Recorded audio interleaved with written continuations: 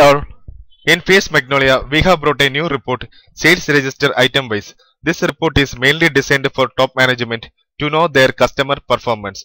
That means using this report, user can generate, consolidate item sales details via customer wise. By the way, user can get the information like how much quantity sold, total sales value, total cost value, margin, etc. The new report is brought under PNC report node. Before going with that, we can go with a sales transaction. Then only user can identify how the values are getting reflected in the report. For that, first select shop.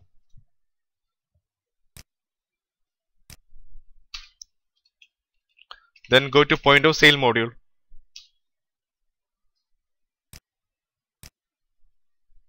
Click on new.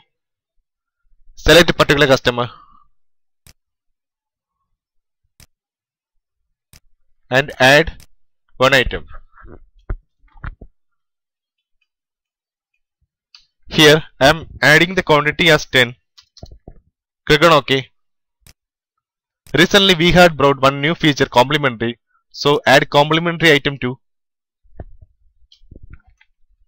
same item I am making as complementary.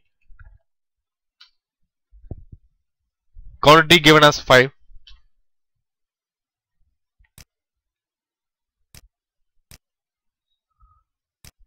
Then save the transaction. Again, do one more pose with the same customer.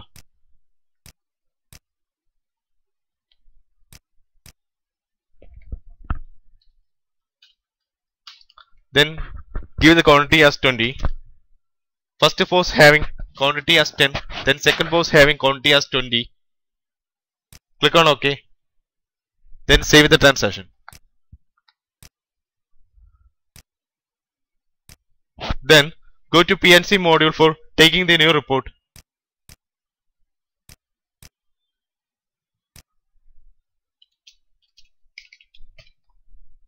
PNC.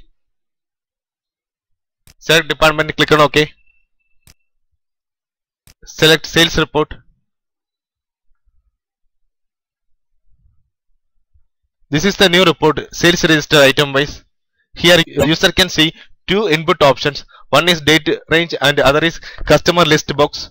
Date range using date range we can uh, generate uh, daily, monthly and yearly report. Click on OK to load the report.